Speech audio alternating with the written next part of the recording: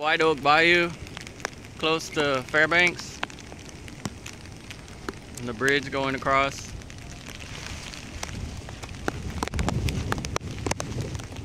And then the retaining ponds are over there. You can kind of see the bridge from here going on Fairbanks.